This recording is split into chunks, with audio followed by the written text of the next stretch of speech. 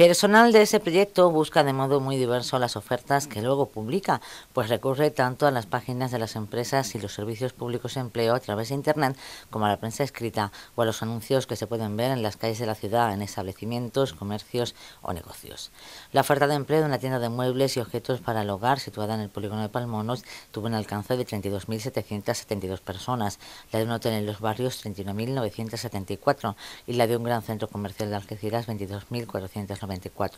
Todos los alcances de esas páginas se tradujeron en más de 2.200 interacciones en cada uno de los casos citados.